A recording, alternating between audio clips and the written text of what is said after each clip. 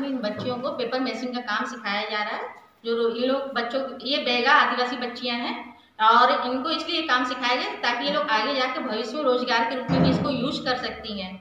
इसके लिए inner club Mandla मेकल ने इन, इन लोगों को कुछ सामान मन ला कर दिया और सिखाने वाले थे उनको भी लाकर उनको भी दिया गया सिखाया गया।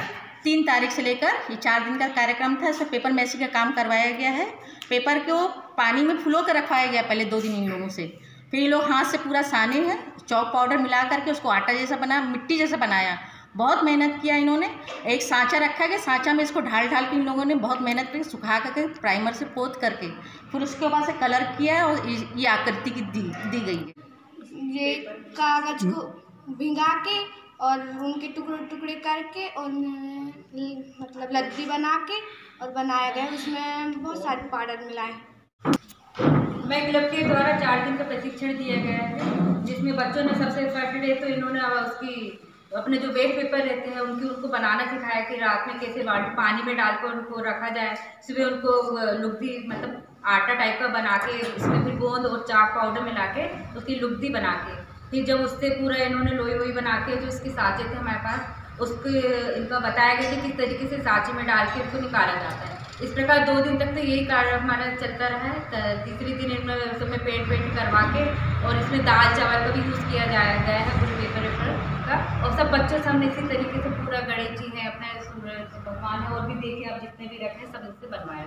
हमें Inner Wheel Club Mandla Maikal के द्वारा ये सब सिखाया गया है। जी, इसे सीखकर ऐसा लगता है कि जो कुछ कमा नहीं पाते हैं, उनसे ये अपनी ज़िंदगी चला सकते हैं। पेपर मैसी में पहले पेपर को गला के और उसमें कुछ चॉक पाउडर मिला के उसके बाद उसमें गोंद पाउडर मिला के और विभिन्न आकार बच्चों के द्वारा दिए गए उन्होंने ये गणेश जी बहुत ही खूबसूरत यहाँ गणेश जी को बनाया है बच्चों ने।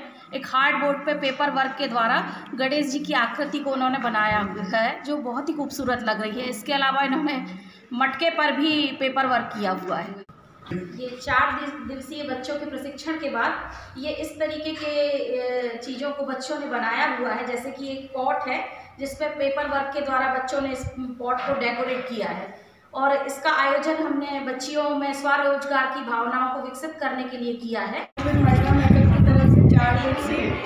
पेपर मैसी का शिविर लगाया गया था यहाँ सेवा भारती में। आज उसका समापन कार्यक्रम है और आज ही बच्चों को सर्टिफिकेट दिया जाएगा जिन बच्चों ने इन कार्यों में भाग लिया। हमारे यहाँ इनरविल की तरफ़ से सेवा भारती संस्था में बच्चों को पेपर मैसी से ये सिखाया जा रहा है स्वरोजगार के लिए, उनको पेपर में से कैसे वेस्ट एंड बेस्ट बनाया जा सकता है ये सिखाया जा रहा। है हमारे क्लब के द्वारा समय समय पर कुछ ना कुछ सोशल एक्टिविटीज़ की जाती है।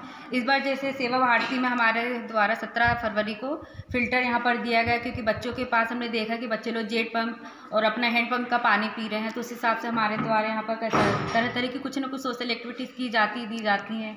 और अभी हमारे यहाँ सेवा भारती में इनरवील क्लब के द्वारा चार दिन का पेपर मेसी का प्रशिक्षण दिया जा रहा है। चार दिन से कंटिन्यू चल रहा है और बच्चों ने बहुत उत्साह से, बहुत खुशी से ये सब काम किया। और इनका जो वर्क है वो आप खुद ही देख रहे हैं कि कितना अच्छा इन्होंने बनाया गया है और इसके कारण लोग खुद भी अपना कर सकते हैं, स्वरोजगार टाइप का अपना कुछ काम कर सकते हैं। जैसे यहाँ पर रहते हुए भी ये लोग अपना मंथली अपना क्या बोलते हैं पॉकेट मनी निकाल सकते हैं। और बच्चे बहुत खुश हैं इस चीज़ को देख के। और हमारे क्लब को भी बहुत अच्छा लगा कि हम लोगों ने कुछ किया, सेवा